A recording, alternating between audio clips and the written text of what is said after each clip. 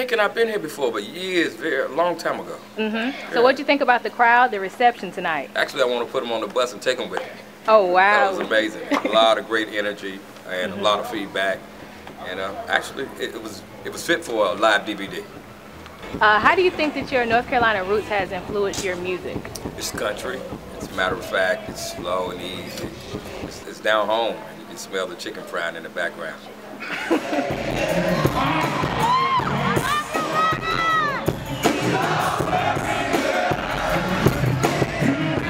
Contrary to what people may believe, uh, Anthony's show is one of the most exciting shows that I've seen. I mean, especially live. Know, a lot of people don't know that he used to be background for D'Angelo.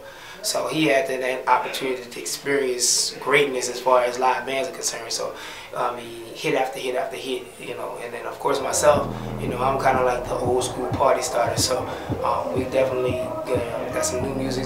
Music. I have some few surprises tonight. So, um, you know, I think that's gonna kind of be the talk of the town after the evening.